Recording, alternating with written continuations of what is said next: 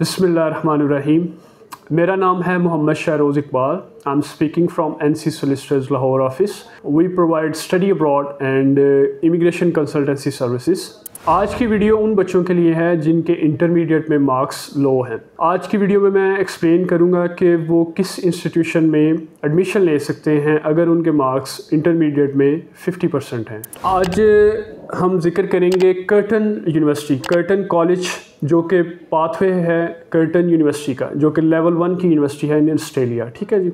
अब इसमें अगर तो आपके इंटरमीडिएट में 50 परसेंट मार्क्स हैं तो आप जाएँगे स्टेज वन डिप्लोमा में। Stage one diploma eight to twelve months का होता है। आप जैसे ही उसको कंप्लीट करेंगे तो आप प्रोग्रेस करेंगे first year of undergraduate degree ठीक है जी? और इसके लिए जो रिक्वायरमेंट्स हैं पीटी की, वो है 42 ओवरऑल नो लेस देन 36 ठीक है जी? फिर आ जाते हैं stage two diploma stage two diploma जो है, वो in actual first year of undergraduate degree है। ठीक है जी? जैसे ही आप स्टेज टू डिप्लोमा कंप्लीट करेंगे तो आप प्रोग्रेस करेंगे second year of undergraduate degree में। इसकी एकेडमिक रिक्वायरमेंट्स जो है, वो मिनिमम है सिक्सटी परसेंट ठीक है जी? और जो पीटी की रिक्वायरमेंट है, वो है फिफ्टी ईच और जो आइट्स की रिक्वायरमेंट है स्टेज टू के लिए वो है overall six and no less than six each band अच्छा अब जो मेन डिफरेंस है स्टेज वन और स्टेज टू डिप्लोमा का, वो ये है कि अगर तो 50 परसेंट मार्क्स हैं तो आप स्टेज वन डिप्लोमा कंप्लीट करेंगे और प्रोग्रेस करेंगे आप first year of undergraduate degree में। और इस तरह आपकी डिग्री ड्यूरेशन जो होगा वो हो जाएगा फोर ईयर्स का, ठीक है जी?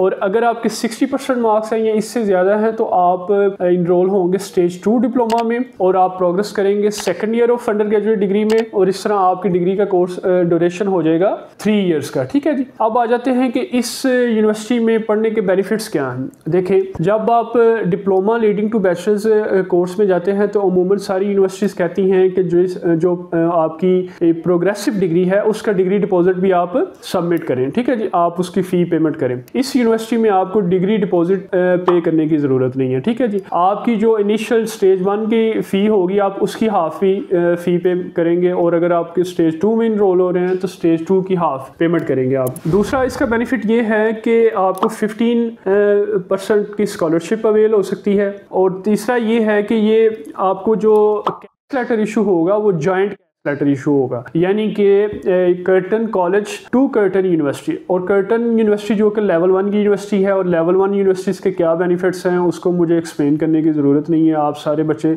समझते हैं कि हर बच्चा ये चाहता है कि, सर, मैं लेवल वन यूनिवर्सिटी में जाना चाह रहा हूँ। अब, एक तो ये लेवल वन की यूनिवर्सिटी है, दूसरा इसमें डिग्री डिपॉजिट आपको पे नहीं करना पड़ता। तीसरा ये रीजनल एरिया में है, यानी कि पर्थ में है बेंटली में। तो आपको जो पोस्ट स्टडी वर्क वीज़ा मिलेगा, वो आपको एक्सटेंडेड एक साल का extra post study work visa मिलेगा, ठीक है जी? और चौथा सबसे बड़ा पॉइंट ये है कि आपने अगर जब स्टडीज़ कंप्लीट कर लेनी है, उसके बाद आपने पोस्ट स्टडी वर्क वीज़ा जब कंप्लीट कर लेना है तो उसके बाद जब आप पीआर के लिए अप्लाई करेंगे तो आपने अगर इस कैंपस में पढ़ा होगा पर्थ के कैंपस में, यानी कि रीजनल एरिया में तो आपको पी के लिए इस रीजनल एरिया की स्टडीज़ के फाइव पॉइंट्स भी मिलेंगे। तो ये एक चंद मैंने शॉर्ट लिस्ट कर दिए इस यूनिवर्सिटी में पढ़ने के जो बेनिफिट्स हैं, यानी कि जो कर्टन कॉलेज है, ये पाथवे प्रोवाइडर है, इसमें आपकी इनरोलमेंट होगी और इसके थ्रू आप जाएँगे कर्टन यूनिवर्सिटी में। ये सेम कैंपस है सेम बिल्डिंग में है, ठीक है जी? तो अगर ये आपको वीडियो पसंद आई तो काइंडली लाइक करें सब्सक्राइब करें और शेयर करें। और अगर आप हमारी सर्विसेज़ अवेल करना चाहते हैं तो आप दिए गए नंबर्स पे कॉन्टैक्ट करें या आप हमारा ऑफ़िस विज़िट कर सकते हैं। Thank you so much